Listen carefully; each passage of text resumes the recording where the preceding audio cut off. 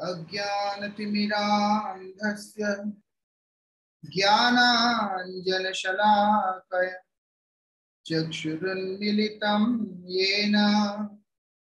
तस्मै श्रीगुरवे नमः। नमः ॐ विष्णुपादाय श्रीगौरप्रियमूर्तये। श्रीमते भक्तिवल्लभ तीर्थगोस्वामिने नमः। यतीन्द्रियनमस्तुभ्यं गौरकृष्णप्रियात्मने रूपानुगगति ज्ञाय गुरुदेवाय ते नमः। पतित पावन परम करुणामय परमाराध्यतम श्रील गुरुदेव नित्य लीला प्रविष्टो विष्णुपाद परमहंस परिव्राजकाचार्य। अष्टोत्तर शतश्री श्रीमद शिल भक्ति वल्लभ तीर्थ गोस्वामी महाराज जी के अभय चरण। असंख्य कोटि साष्टांग दंडवत प्रणाम करते हुए उनकी अहेतु की कृपा प्रार्थना कर। परमाराध्य शिल गुरुदेव की असीम कृपा से हम लोग पिछले कुछ दिनों से श्री मन शिक्षा के ऊपर चर्चा कर रहे हैं। श्री मन शिक्षा श्री दास गोस्वामी जी के द्वारा विरचित है, जो कि श्री रूप गोस्वामी के शिक्षाओं के ऊपर आधारित है। रूप गोस्वामी, श्री चैतन्य महाप्रभु, इन सब के शिक्षाओं के ऊपर आधारित मन शिक्षा है। उसी के अंतर्गत हमने एकादश श्लोकों को यहाँ पर पाठ किया। ग्यारह श्लोकों को। आज द्वादशवा एवं अंतिम श्लोक है इस मन शिक्षा का, जिसके ऊपर हम लोग चर्चा करेंगे। इस श्लोक के अंतर्गत श्री दास गोस्वामी जी महाराज इस मन शिक्षा को नित्य प्रति पाठ करने के लिए हमें प्रेरणा दे रहे हैं। क्या बोल रहे हैं? बोलते हैं, वो हमें उत्साह बढ़ा रहे हैं ताकि हम प्रतिनित्य इस मन शिक्षा का नियमित रूप से पाठ कर। क्योंकि एक ऐसी शिक्षा है जो मन को दिए जाने वाला और मन एक ऐसा ढीठ वस्तु है जब तक कि इसको बार बार बार बार बार बार एक वस्तु के प्रति ज़ोर नहीं डाला जाता, अभ्यास नहीं कराया जाता, तब तक मन उस चीज़ में ढलता नहीं है। इसलिए भगवान मन को निग्रह करने का उपाय बतलाते हुए अर्जुन को वहाँ पर इसी बात को बताया कि तुम्हें क्या करना होगा? अभ्यास करना होगा। अर्जुन प्रश्न करता है कि प्रभु मन को निग्रह में किस प्रकार से करूँगा? और उसके समाधान करते हुए भगवान मन को निग्रह करने का उपाय बतलाते हुए बोल रहे हैं, अभ्यास और वैराग्य के माध्यम से। अक्सर बहुत सारे भक्त इसी प्रश्न को लेके आते हैं कि मन वश में नहीं होता। परिणाम में मन नहीं लगता। उसका कारण यही है, सर्वप्रथम दिन में मतलब प्रारंभिक काल में, जिस उत्साह और रुचि के साथ हम लोग हरिनाम करना आरंभ करते हैं धीरे धीरे वो उत्साह को जीवित नहीं रख पाते हैं। जब उस तरह का उत्साह को जीवित ना रख पाने के कारण मन भी पीछे हटने लगता है। जब मन पीछे हटने लगता है तो मन लगेगा कैसे? किसी कारण से यहाँ पर बता रहे इस तरह के उपदेशों को केवल मात्र श्रवण करके वावा करने से नहीं होता कि दास गोस्वामी जी ने बड़ी सुंदर बात बतलाया। ये बोलने से पर्याप्त नहीं है। क्या करना होगा वहाँ पर? वो बोलते हैं, उसको प्रतिनित्य पाठ करना होगा। प्रतिनित्य पाठ करना होगा। हर दिन इसको स्मरण करते रहना होगा। इसकी ये करते रहने से क्या है? मन को याद रहता है।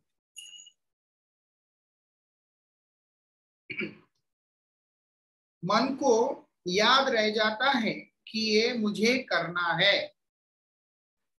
इसी कारण से ताज गोस्वामी जी महाराज यहाँ पर हमें शिक्षा प्रदान कर रहे हैं। क्या बोल रहे हैं यहाँ पर? मन शिक्षा दैक दश दश का वर में तन मधुराय गिरा गायत समधि गत सर्वथा ततिया। सयूत श्री रूपानुग इह भवन गो गोकुल वने जनो राधा कृष्ण तुल भजन रत्नम सा लभेत। जनो राधा कृष्णा तुल भजन रत्नम सा लभेत जनो मतलब क्या है? जो लोग इस मन शिक्षा को प्रतिनित्य पाठ करते, उन्हें क्या प्राप्त होगा? यहाँ पर बतला रहे हैं। पाठ करने से क्या होता है? वो एक समय आने पे हमारे आचरण में भी आ जाता है। एक वस्तु का बार बार बार बार बार बार चिंतन करने पर एक समय ऐसा आता है जब वो वस्तु हमारे जीवन के हिस्सा बन जाता है। इसीलिए इस चीज़ को हमें समझा रहे हैं। क्या बोल रहे हैं? जो भी व्यक्ति यहाँ सयूथ श्री रौपानुग सयूथ मतलब क्या है? वो बोलते हैं सरल, सीधे और बड़े ही अच्छे मृदुल स्वभाव वाले सजातीय वैष्णव जो कि श्री रूपानुग धारा के अंतर्गत आए हैं। उनकी बात यहाँ पर बोला जा रहा है। श्री रूप गोस्वामी के धारा से आए हुए जो सरल स्निग्ध वैष्णव है, वैष्णव और धारा में भी मिलते हैं, ऐसा नहीं कि नहीं होते। अगर कोई सोचता है कि हम लोगों की धारा ही वास्तविकता में सबसे के अतिरिक्त और कोई मार्ग ही नहीं है तो वो वास्तविकता में गलत है। रस की उत्कर्षता के आधार पे हमारा सर्वश्रेष्ठ है। लेकिन भगवत प्राप्ति के उद्देश्य से अगर हम विचार करते हैं, भगवान को प्रदान करने वाले अन्य और भी मार्ग है। चार को तो स्वयं भगवान ने प्रमाणित किया, जिसमें से श्री संप्रदाय, रुद्र संप्रदाय और कुमार संप्रदाय है। और हम लोग जिस परंपरा से, वो है ब्रह्म संप्रदाय। इसलिए ये ब्रह्म मध्व गौड़ी सारस्वत परंपरा है। इसलिए भगवत प्राप्ति और और वैष्णवों के द्वारा भी होता है। लेकिन रस की उत्कर्षता, जो कि उस मधुर रस की पराकाष्ठा जिसके अंदर श्रीमती राधिका भी स्वयं विद्यमान है। मदनाख्य महाभाव स्वरूपिणी, उस श्रीमती राधिका के अंतर्गत उस रागानुगमयी सेवा को प्राप्त करना है। तो बोलते हैं, सयुत श्री रूपानुगम। मतलब है कि श्री रूप गोस्वामी के अनुगत में आए हुए सजातीय, स्निग्ध, सरल वैष्णवों के पाद पद्म में आश्रय ग्रहण करना है। हम अगर देखते हैं, मानस शिक्षा में हर जगह पर रूप गोस्वामी के बारे में वर्णन किया कि रूप गोस्वामी का शरण लो। रूप गोस्वामी आज से 500 वर्ष पूर्व रहे हैं, उनका शरण हम कैसे लेंगे? जबकि उन्हीं का शिक्षा के आधार पे तो हमारी भजन प्रणाली है। इसीलिए इस चीज़ को हमें समझना होगा। उनकी शिक्षा से हमें प्रेरणा लेना होगा। और वर्तमान काल के अंदर श्री रूप गोस्वामी के प्रतिनिधित्व करते हुए जो आचार्य गण विराजमान है, उनके, उनसे शिक्षा, दीक्षा आदि को प्राप्त करते हुए हम लोगों को आगे बढ़ना होता है। अगर हम ये ना सोचें, इस चीज़ को ना समझें तो हमारा परमार्थ खत्म हो जाएगा। जैसे परमाराध्य गुरुपाद पद्म इस जगत के सामने से अप्रकट अवस्था में हैं। मतलब आँखों के सामने दिखते नहीं हैं, स्थूल रूप से। लेकिन उनकी शिक्षा, उपदेश, मार्गदर्शन, कृपा आदि के माध्यम से श्री गुरु महाराज अभी भी वर्तमान है।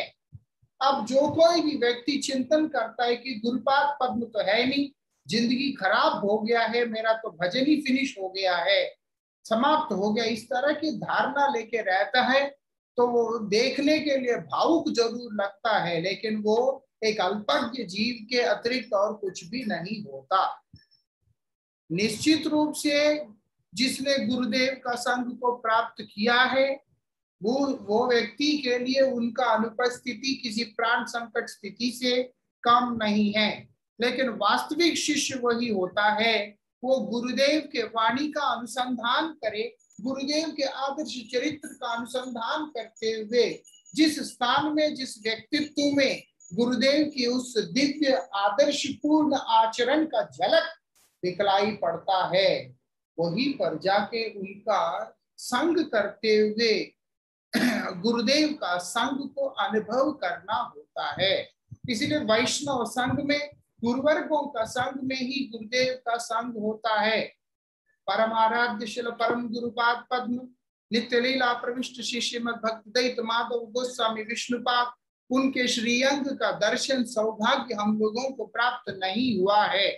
इसका मतलब ये नहीं है कि हम लोग उनसे विमुख हैं, अथवा अगर हम लोग गुरुदेव से जुड़े हैं मतलब हम लोग परम गुरुदेव से दूर हो चुके हैं, अथवा हमारा परम गुरुदेव के साथ में कोई संपर्क नहीं है। वास्तविकता में जिन गुरुदेव का हम लोग आश्रय में रहते हैं, उनके अंदर तमाम गुरुवर्गों का दर्शन करते हुए, उनकी वाणी का सेवा करते हुए, उनके वपू का सेवा करते हुए हम लोगों को परमार्थ में अग्रसर होना होगा। जैसे भगवान श्री कृष्ण उद्धव को बतलाते हैं, आचार्य माम विजानीय आचार्य मतलब गुरुदेव गुरुदेव को माम विजानिया मेरा ही रूप समझो। इसीलिए जब हम गुरुदेव को देखते हैं तो हम एक रूप में भगवान को देखते हैं। क्यों? क्योंकि गुरुदेव आश्रय तत्व है। भगवान स्वयं ही आश्रय जाति के रूप में गुरुदेव बन के हमारे सम्मुख में विराजमान हुए हैं। और भगवान स्वयं बोल रहे आचार्य माम बिजानी इसलिए गुरुदेव को मेरा रूप समझो। नावमन्यते करीचित। उनकी कभी भी अवमानना नहीं करना, उनकी बात को कभी भी अवहेलना नहीं करना। नामृत्यु भावया सुयते इस संसार के अंदर आया हुआ प्रति व्यक्ति को शरीर छोड़ना ही पड़ता। चाहे वो गुरु स्थान में क्यों ना विराजमान हो, उनको भी इस नश्वर शरीर को त्याग करके अपने नित्य दाम में प्रविष्ट होना होता है। फिर भी भगवान स्वयं उद्धव को लक्ष्य करते हुए वहाँ बोल रहे हैं क्या बोल रहे वहाँ पर वो? कि नामृत्य भाव या सुएत गलती से भी ये नहीं सोचना कि ये तो मरणशील व्यक्ति है। शरीर छोड़ देंगे, फिर भी हमें ऐसा नहीं समझना है। और क्या बोलते हैं? सर्वदेवमयो गुरु। गुरुदेव मतलब तमाम देवताओं उनके अंदर वास करते हैं। तमाम देवताओं का मूर्तिमान स्वरूप शास्त्र ऐसे कह रहे हैं, भगवान स्वयं इस बात को कह रहे हैं। तो इसीलिए हमें समझना होगा। यहाँ पर रूप गोस्वामी के शरणागत होने की बात बोल रहे हैं, उनकी शिक्षाओं का आश्रय लेने के लिए बोल रहे हैं। इसलिए बोला, सायुत श्री रूपान हम लोगों को चिंता हो जाएगा बोलकर। फिर दास गोस्वामी स्पष्ट कर रहे सायुथ युथ मतलब है कि उनके जो परिकर है श्री रूप गोस्वामी के जो परिकर हैं, जो कि श्री रूप गोस्वामी के भावना से भावित अवस्था में श्री रूप गोस्वामी के द्वारा प्रदत्त शिक्षाओं के ऊपर चलने वाले सरल, स्निग्ध, सजातीय जो वैष्णव होते हैं, वो बोलते हैं, उनके संग में रहना। रह के क्या करना है? बोलते हैं, एक चीज़ को अच्छी तरह से समझ लेना होता है। वो क्या है? जैसे ललिता सखी, विशाखा सखी, चित्रा सखी, सुदेवी, रंगदेवी तुंग विद्या इंदुलेखा, चंपकलता आदि जितने भी सखी है, ये सब अपने अपने जो यूथ है मतलब इनके जो अनुगत जो सखियाँ हैं, उनके ये प्रधाना होती हैं। ये लोग उनके प्रधाना होती है। इसीलिए ललिता जी के अनुगत में बहुत सारी सखियाँ होती है। उनकी अपनी विशाखा के, सभी के। लेकिन विशेषता क्या है? यद्यपि ये सब अपने अपने उस दल के अपने अपने उस समूह के स्वामिनी होने के बाद भी वो भगवान की सेवा श्रीमती राधिका जी के अनुगत में रह करके ही सब समय करती रहती है। ये चीज़ हमें समझना हो बोलते इसीलिए उसी प्रकार से बोलते जितने भी हमारे परंपरा के आचार्य गण हैं, वो लोग अपने अपने शिष्य समूह के साथ में होते हुए भी वास्तविकता में वो अपने आप को कभी भी केंद्र नहीं रखते। वो हमेशा श्री रूप गोस्वामी को ही केंद्र करते हुए श्री रूप गोस्वामी के अनुगत में ही भगवान की सेवा करते हैं। इसी कारण से हम लोग ऐसे आचार्यों का अनुगत करते हैं तो हम लोग अपने आप से ही रूप गोस्वामी के अनुगत में हो जाते हैं। ये चीज़ हमें यहाँ समझना होगा। तो इसलिए यहाँ पर बोल दिया, जो व्यक्ति रूप गोस्वामी के अनुगत उन आचार्यों के शरण में रहकर शरणागत होकर जो श्री ब्रजमंडल धाम है, ब्रजधाम, यहाँ पर बोल दिया, गोकुल वन, जो उस नित्य गौलोक है, वो जब ये भौम जगत में प्रकट होता है तो उसी का नाम गोकुल होता है। इसलिए गोकुल वन मतलब है कि ये भौम जगत में प्रकट होने वाला ये नित्य गोलोक वृंदावन की बात हो रहा है। वो गोलोक धाम जब यहाँ पे प्रकट है तो वो गोकुल के नाम से ख्याति प्राप्त है। इसीलिए उसी गोकुल के अंदर मतलब उस श्री ब्रजधाम के अंदर, वो जो चिन्मय धाम के अंतर्गत कहाँ पे वास करने की बात बोल रहे हैं, वो बोलते हैं श्री गोवर्धन जी के पावन चरणों में गोवर्धन जी के चरणों में आकर क्या बोलते हैं? जो अत्यंत उत्तम और मन को शिक्षा देने वाला, ये मन शिक्षा के एकादश श्लोकों का जो कोई भी व्यक्ति निरंतर कीर्तन करता है तो वो व्यक्ति को क्या होता है?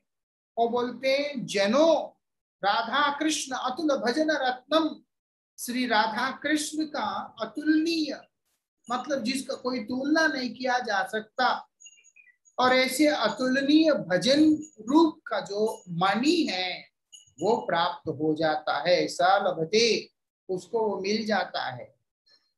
ये बात कौन बोल रहे हैं? श्री दास गोस्वामी जी महाराज बोल रहे हैं, जिसको हमें अच्छी तरह से समझना होगा कि जो कोई भी व्यक्ति किस उद्देश्य से आएगा? वो गोवर्धन जी में किस उद्देश्य से आएगा? श्री राधा कृष्ण की अतुलनीय भजन रूपी रत्न को प्राप्त करने के लिए। कोई जागतिक वस्तु की प्राप्ति के लिए नहीं। और ना ही धाम में रहने से अच्छा लगता है, उसके लिए मैं चलता हूँ, उसके लिए भी नहीं। धाम में रहना अच्छा लगता है, धामवास अच्छा लगता है, इसीलिए मैं धाम में जाऊँगा, उसके लिए भी नहीं। मैं धाम में किस लिए जा रहा हूँ? सेवा करने के लिए जा रहा हूँ। धाम में मैं किस लिए जा रहा हूँ? उस सेवा को प्राप्त करने के लिए जा रहा हूँ। कौन सी सेवा? श्री राधा कृष्ण युगल की चरणों की सेवा। इसीलिए बोलते हैं, उनके चरणों में अनुराग उत्पन्न कराने वाला जो उनका भजन रूपी रत्न है, उसको प्राप्त करने की अभिलाषा से ब्रज में आना होता है। इसलिए ना ये ये चीज़ बहुत बारीकी से समझना होता है। अक्सर कई लोग वृंदावन में आना है बरसाना आना है, गोवर्धन आना है। आखिर करना क्या है? व्हाट नेक्स्ट नहीं, और जगह पे जैसे रह रहे, केवल इधर भी ऐसे ही रह के तीन टाइम भोजन बना के, खा के, थोड़ा बहुत इधर उधर घूम घाम के, दर्शन करके, दो चार माला करके, फिर आराम से सो जाएँगे। वो ठीक है, एक विचार से, क्योंकि वो अन, जगत के अन्य हिस्सों की अपेक्षा भगवत धाम में आकर के वास करना परम सौभाग्य का बात होता है। लेकिन बहुत ही ज़्यादा आवश्यक जो हम लोगों को समझना है, वो क्या है वो? वो बता रहे हैं वहाँ पर, श्री राधा कृष्ण युगल का भजन रूपी रत्न को प्राप्त करने की इच्छा। इसलिए बोल दिया, बोलते हैं हम लोग नवदीप धाम परिक्रमा करते रहते हैं। चल भक्ति ठाकुर बोलते कि देखो, हमेशा इस भाव से नवद्वीप में आना चाहिए। और बोलते, अपने शरीर आदि के सुखों को त्याग करते हुए कि अपने शरीर के सुख की कामना को ना करते हुए कि मुझे अपने शरीर से संबंधित कोई भी सुख की वांछा नहीं है। और क्या है? रोते रोते नवद्वीप धाम के अंदर भ्रमण करना है। भ्रमण करते हुए क्या करना है? भगवान गौर सुंदर को अनुसंधान करना कि कहाँ पे हैं आप? मुझे आप कहाँ पर दर्शन प्रदान करेंगे? तब जाकर के महाप्रभु का दर्शन होता है, धाम का स्वरूप प्रकट होता है और श्रीमती राधिका जी का पावन दासत्व भी हमको प्राप्त होता है। यहाँ पर यही बात बोल रहे हैं। आपको क्या करना होगा? उस भौम जगत के जो नित्य वृंदावन है, नित्य गौलोक है, उसके अंतर्गत श्री गोवर्धन जी के पावन तट पे आकर के बैठ के उनके श्री चरणों में बैठकर ये प्रार्थना करना होगा। कैसी, किस रूप से प्रार्थना करना बोलते ये मन शिक्षा रूपी एकादशी श्लोकों को बड़े मधुर वाणी से और स्वर से मतलब है कि हृदय से। कईयों के पास मधुर वाणी भी नहीं होता है, बड़े कर्कश वाणी होता है और सुर ताल आदि का ज्ञान नहीं होता। लेकिन यहाँ पर बोल रहे हैं, इसका मतलब क्या है? बोलते हृदय की कंदराओं में से निकाल कर वो नाम को उच्चारण करना होगा।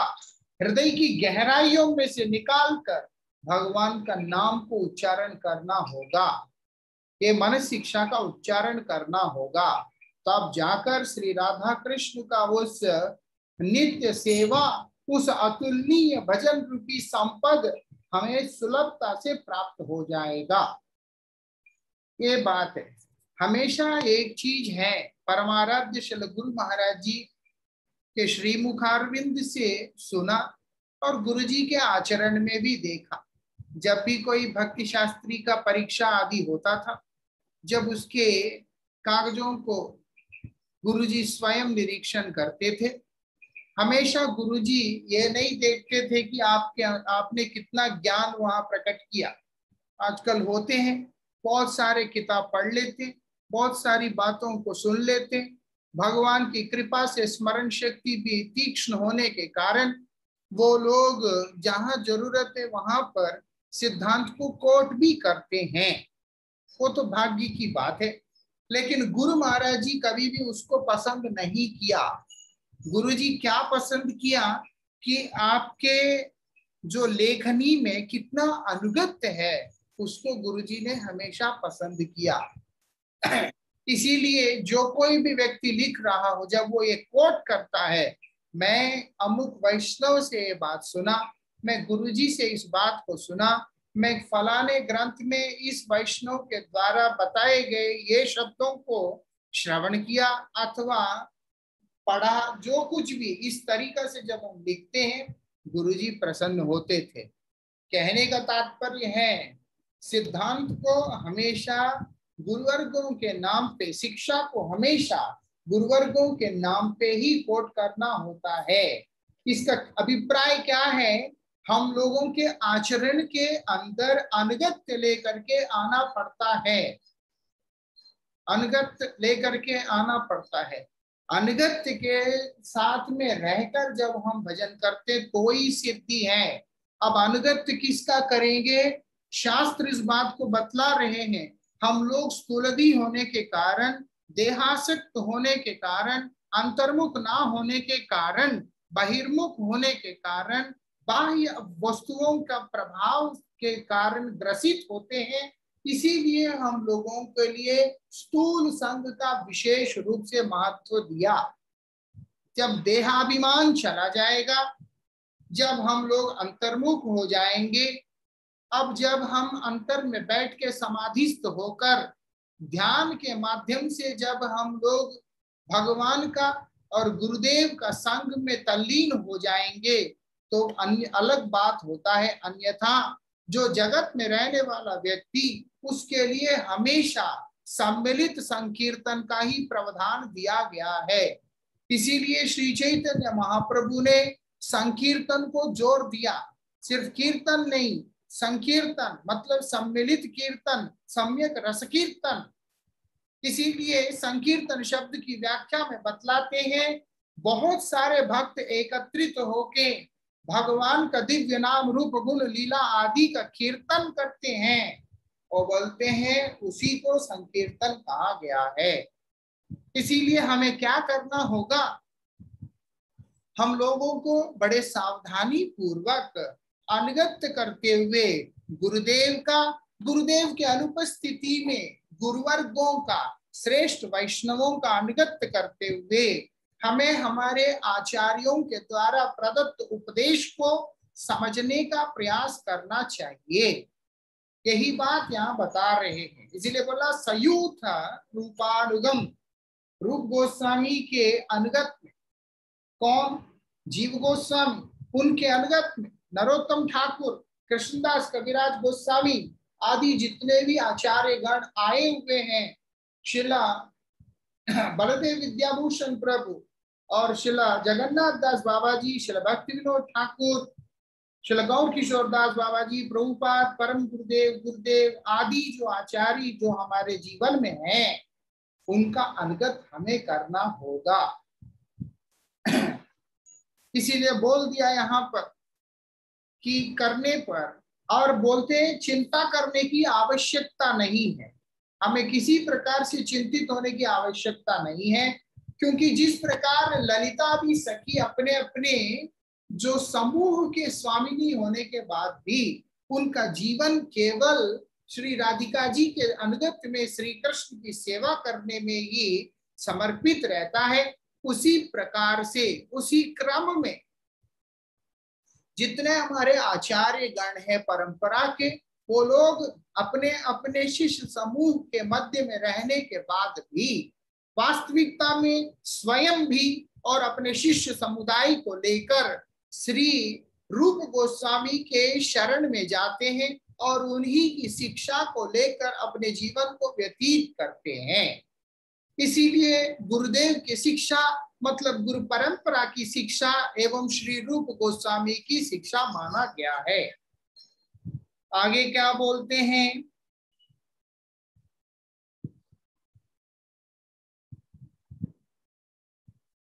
और क्या बोलते हैं? वो बोलते हैं, जो स्वतंत्र भाव को, जो स्वतंत्र भाव होता है, जैसे उस चीज़ को श्रीमती राधिका जी कभी भी पसंद नहीं करती, अथवा स्वयं भगवान भी उस चीज़ को पसंद नहीं करते। इसीलिए इस तरह का आचरण शुद्ध भक्त और हमारे परंपरा के आचार्यगण नहीं करते हैं।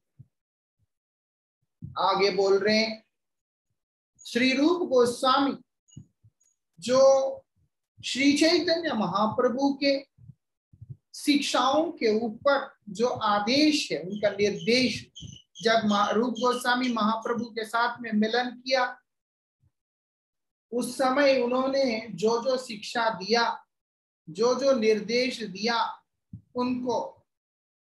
वो बोलते, किस चीज़ का? जो रस तत्व का जो उपदेश दिया।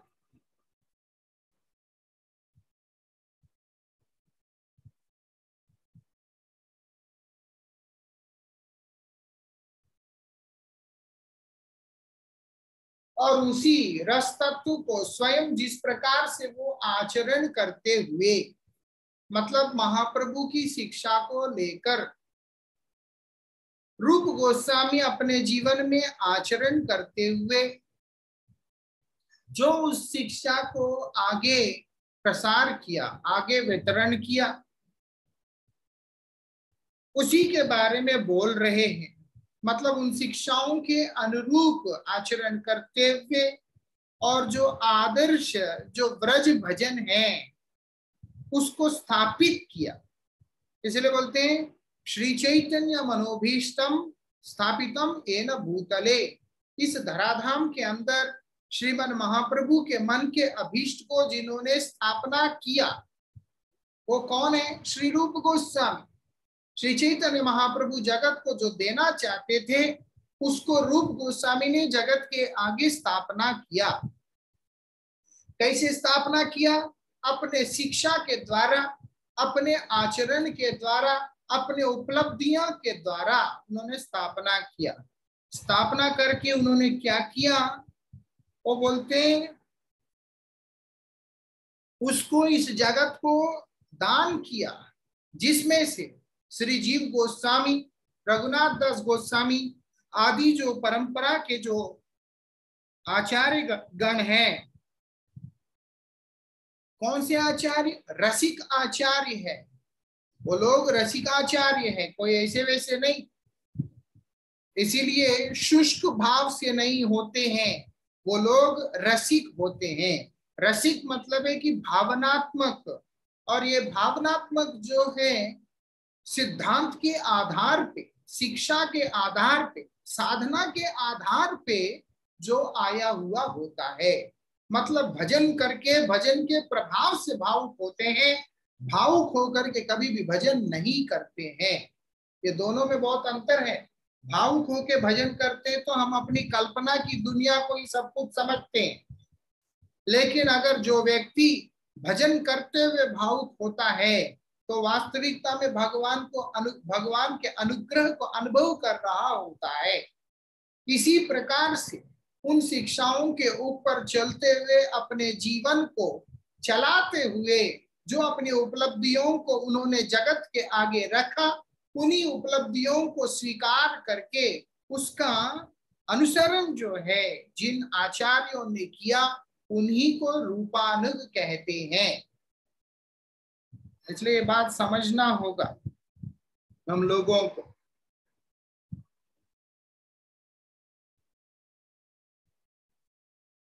और बोलते हैं, उसी प्रकार जो भजन परिपाटी है, उसी को रूपानुग कहते हैं।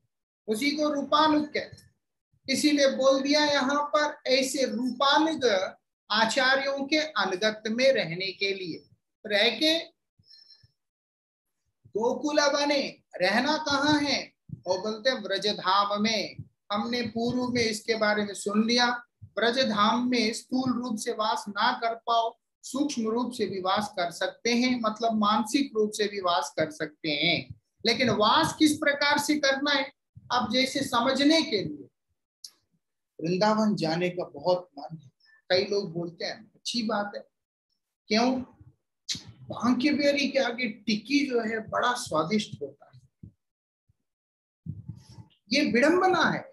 वो मानसिक रूप से वृंदावन में तो आया है, लेकिन उसका उद्देश्य क्या है? भगवान के श्री चरणों का एकांतिक भक्ति की प्राप्ति कदापि नहीं है। ना ही गुरुवर्गों का, हमारे आचार्यों का अनगत स्वेच्छाचारी भाव से यत्र तत्र गमन करते हुए अपने बुद्धि के अनुसार चीज़ों का दर्शन करते रहना। श्रीमन महाप्रभु ने स्पष्ट रूप से बता दिया, वृंदावन जाना रहना नहीं चिरकाल के लिए, और वृंदावन जाना हमेशा भक्तों के अनुगत भक्त के अनुगत में होकर के ब्रजधाम का दर्शन करना है। स्वेच्छाचारी भाव से मुझे जैसा समझ में आता है, उस हिसाब से मैं अपना योजना बना लू। और उसके बाद जहाँ तहां जाकर के दर्शन करने के लिए पहुँच जाऊँ तो भगवान मुझ पर कृपा करने के लिए मजबूर नहीं है। और ना ही भगवान प्रसन्न होते हैं। कैसे करना होता है, यहाँ पर बता दिया। अनुगत में रहकर किसके, किसी भी वैष्णव के, लेकिन जब रूपानुग होकर के करोगे तो रस की उत्कर्षता को प्राप्त कर सकते हो। रस की श्रेष्ठता को प्राप्त कर सकते हो। सर्वश्रेष्ठ रस के रसिक बन सकते हो। और उसी भाव से भावित होकर ब्रजधाम में वास करना है। लेकिन वो ना करके, वृंदावन की लस्सी लोही बाज़ार के सामान और बांकी वैली के टिकी ये सब चीज़ों को याद करके जो व्यक्ति व्रज में आने के लिए इच्छा करता है, या अभी दो चार नए खुल के ब्रजवासी, रॉयल भारती है वो जो भी है, वहाँ जाके एक खाऊँगा, यहाँ जाके एक करूँगा, इस तरह के विचार लेकर के जो व्यक्ति दूर में रह के विचिंतन करता है, उसका वास्तविकता में मनोमयी वास वृंदावन का कभी भी नहीं होता है। ये सब अल्पज्ञता से निवृत्त होकर भगवत कृपा को पूर्ण रूप से प्राप्त करने का उपाय को श्रीदास गोस्वामी जी महाराज हमारे सामने सम्मुख में रख रहे हैं। वो क्या बोल रहे हैं? शरीर से रह सको, सर्वोत्तम है। अगर शरीर से नहीं रह भी सकते हो, मन से रहो, लेकिन सयुत रूपानुगम होकर के रहो। मतलब श्री रूप गोस्वामी के अनुगत जनों के गुरु परंपरा के आचार्यों के, गुरुदेव के अनुगत होकर के मन से भी अगर कोई व्यक्ति ब्रज में वास करता है, उसका भी जीवन धन्य हो जाता है, जिसको हमें यहाँ समझना होगा। इसलिए आगे क्या बोल रहे हैं? ब्रज में वास करना है। वो भी कहा? गिरी तटे, गिरिराज जी के चरणों में। गिरिराज जी के चरणों में वास करना है। और वास करते हुए क्या करना है? मन शिक्षा, मन को शिक्षा देने वाला। ऊपर से मन बहुत दुष्ट है। ये भगवान के चरणों में होने के बाद भी ये विषयों की तरफ़ भागने का प्रयास करता है। ये मन तो बड़ा दुष्ट है। इसीलिए शिल प्रभुपाद ने कहा, दुष्ट मन तुम्हें किसेर वैष्णव? हे दुष्ट मन, तुम किस प्रकार का वैष्णव है? वास्तविकता में तुम वैष्णव हो ही नहीं सकता। क्यों? प्रतिष्ठा तरे, निर्जन घरे, तब हरिनाम केवल कैतव। तुमको मैं देख रहा हूँ कि तुम जो हरिनाम कर रहे हो, ये तुम्हारा कपटता है। क्यों? तुम्हारा उद्देश्य है प्रतिष्ठा। प्रतिष्ठा की प्राप्ति। और ये इतना खराब है, हमने सातवें, आठवें श्लोक में सुना, प्रतिष्ठा की आशा इतना गंदा है कि वो हमें कपटी बना देता है। इसीलिए बोलते हैं, ये मन की शिक्षा, मन को बार बार शिल भक्ति सिद्धांत सरस्वती गोस्वामी ठाकुर प्रभुपाद कहते मन इतना गंदा है उसको रोज सुबह उठ के सो जूते मारने। तब जाकर के मन ट्रैक पे आता है। अब मन को जूते कैसे मारेंगे? मन कोई वस्तु तो है नहीं, जिसको हम लोग जूते मार सकते हैं। इसलिए बोलते हैं, मन जिस वस्तु की कामना करता है, उसको उससे दूर करना। दूर करते हुए जो वस्तु से मन का शोधन हो सकता है, उसको वो सुनाना।